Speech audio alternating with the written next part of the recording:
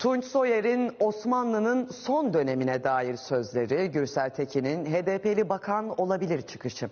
İyi Parti lideri Akşener, CHP'li isimlerden gelen açıklamaları eleştirdi. Bu tip sözlerden kaçınmak gerek dedi.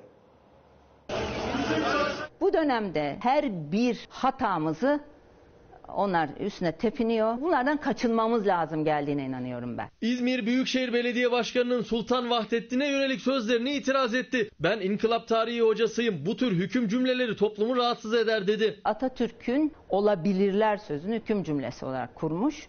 Orada sorun var. Siyasetin sıcak tartışmalarını değerlendirdi Akşener. CHP'li Gürsel Tekin'in HDP'li bakan çıkışına da tepkisi vardı. Kendini solcu kabul eden, kendisini CHP'nin asli unsuru kabul eden öyle diyeyim.